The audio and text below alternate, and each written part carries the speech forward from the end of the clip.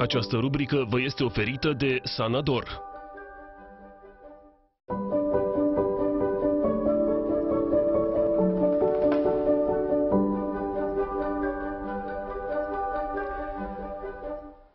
Sunteți cu Digi Matinale, am întors în direct. Orice gravidă trebuie să fie atent monitorizată în sarcină. Pentru sănătatea ei și a fătului, femeile sunt pregătite chiar înainte de a rămâne însărcinate. Când ar trebui să meargă la medic viitoarea mamă, discutăm cu doctorul Mirela Nicolae, medic primar obstetrică ginecologie. Vă mulțumesc foarte mult pentru prezența aici, la Digi Matinal. Bună dimineața, vă mulțumesc și eu pentru invitație. E bine, când ar trebui, doamna doctor, să aibă loc prima consultație în sarcină? Este foarte important ca orice graviduță să-și urmărească sarcina cu atenție pentru a avea un copil sănătos și pentru a fi fericită la finalul acestei sarcini. Primul consult are în general loc cam în jurul vârstei de 8 săptămâni de sarcină. Acesta este cel mai important consult ginecologic, am putea spune, pentru că în cadrul acestui consult medicul trebuie să întrebe graviduța o mulțime de lucruri foarte importante. Și anume, trebuie să urmărească toate antecedentele personale și familiale, să află dacă a mai suferit de alte boli, dacă suferă în prezent de anumite boli, dacă a mai avut sarcini și de modul în care acestea au decurs și cum a decurs nașterea, dacă a fost cu sau fără complicații. În acest cadrul acestui consult um, se face un examen clinic general în care se măsoară înălțimea, greutatea, se măsoară tensiunea arterială a mamei și se stabilesc anumite reguli ce vor fi urmate în viitor.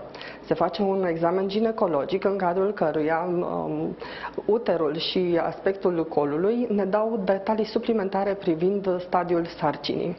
Se face, acest consult este completat cu un examen ecografic care ne va dezvălui um, amănunte suplimentare privind evoluția sarcinii și ne va ajuta să ne dăm seama dacă sarcina evoluează pe drumul cel bun sau pot, putem să ne așteptăm la complicații. Pe lângă acest consult, ce măsuri ar trebui luate pentru a pregăti o sarcină? sunt foarte importante și toate măsurile de pregătire a unei uh, sarcini, pentru că acestea ne ajută să um, evităm pe cât se poate anumite complicații. Și atunci este important ca o graviduță, chiar înainte de a rămâne sărcinată, să-și facă un consult uh, ginecologic, să anunțe medicul că își dorește o sarcină, astfel încât acesta să-i poată prescrie mai multe analize importante. Sunt analize care ne vor arăta despre starea de sănătate actuală a mamei și sunt anumite analize specifice care ne arată de gradul de, gradul de imunizare al femeii privind anumite boli care sunt uh, foarte importante, întrucât acestea pot afecta dezvoltarea normală a fătului. Și în acest sens este recomandat să se facă un complex torci. În plus, medicul îi va prescrie mamei să înceapă să ia un supliment de acid folic. În general sunt suficienți 400 de micrograme de acid folic pe zi, astfel încât sunt riscul de a avea un bebeluș cu defecte de tub neural să fie minim. Acest supliment continuă până pe la 13 săptămâni de sarcină cel puțin. Tot în acest, cadrul acestui consult, um, pacienta va primi de la medicul obstetrician sfaturi de viață sănătoasă, anume să mănânce sănătos, să-și păstreze o greutate corporală echilibrată, să renunțe la fumat, la tutun, să doarmă, să, mă rog, să se odihnească pe cât posibil și să evite stresul. Este foarte important echilibrul psihologic al pacientei. Sunt riscuri mai mari în primul trimestru de sarcină? Fiecare trimestru de sarcină este grevat de anumite riscuri. Uh, riscul cel mai mare într-o sarcină aflată în primul trimestru este de avort spontan.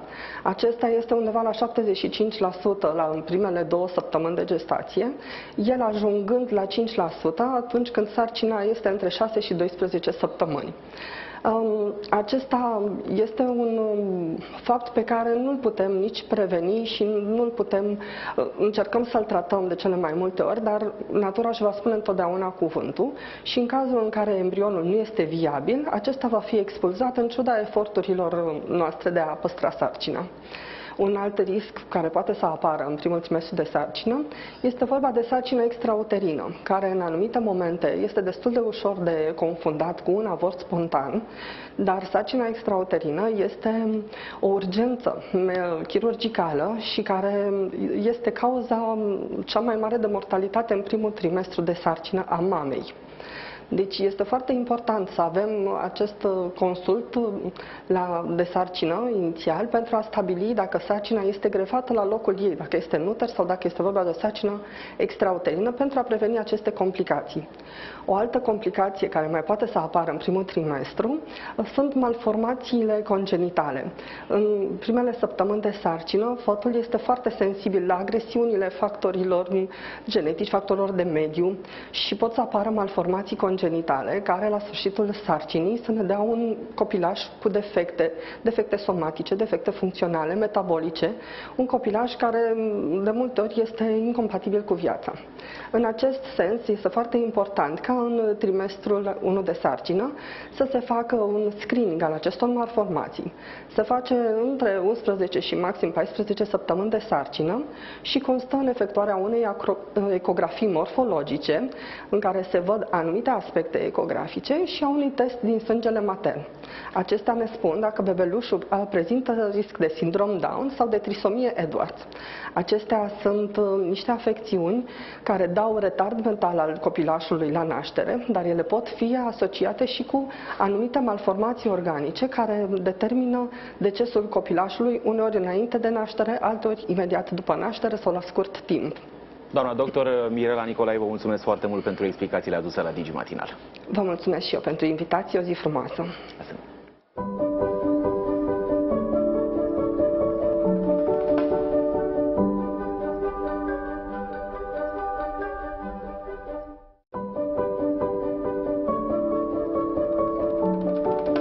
Această rubrică v-a fost oferită de Sanador.